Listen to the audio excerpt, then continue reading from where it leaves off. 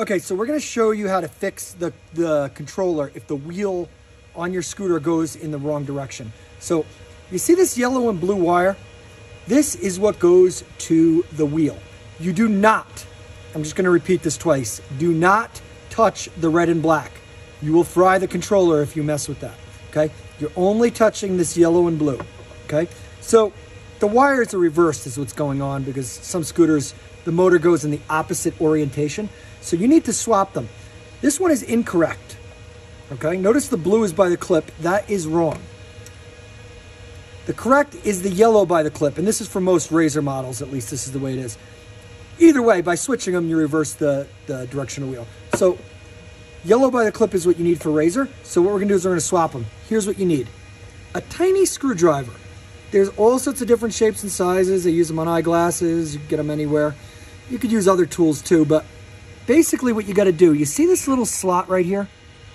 How there's little slots in the clips here?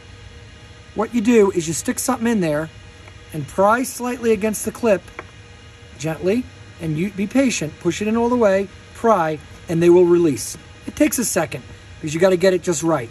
You don't want to force anything, okay? Even me that's done it a lot of times here, it's taken me a second to do. But there you go.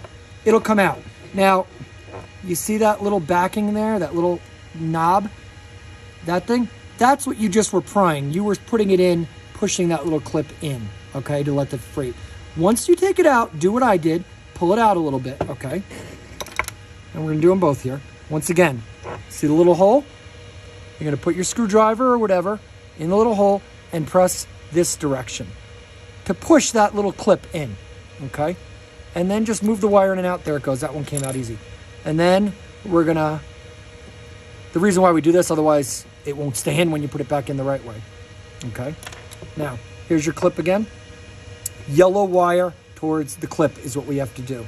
And see, there's your notch. You're to put it in. That is to engage into the back of that notch. So you want to face it the same way as the notch and just push your yellow wire in and listen. It's not in all the way. Hang on. Be gentle. You hear that click in? and pull on it a little, make sure it can't come out. If it does come out, you didn't pull out the little tab because I'm going to show you here. I'm going to do it the wrong way. If you don't fix the little tab, when you put your wire back in,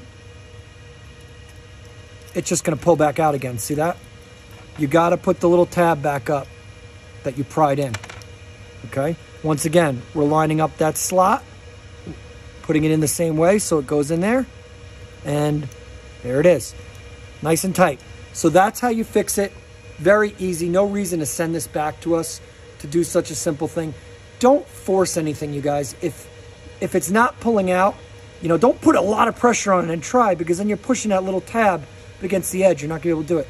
Just gently pry, okay, and work the cable in and out until you feel it come free. Pry a little bit more. You don't, if you're using a lot of force, you're to damage it. Nice and gentle. Take your time. Once you do one, you'll get it. And the fact that we're able to show you what it looks like, there we go again, um, that you're just prying this tab. So just to illustrate, you're sticking the screwdriver in and prying this down so it can slide out, okay? So you slide it out, do that back, slide it back in, and this is the correct orientation for razor. Yellow against the clip part, blue on the other side. And that's all there is to it. Easy fix.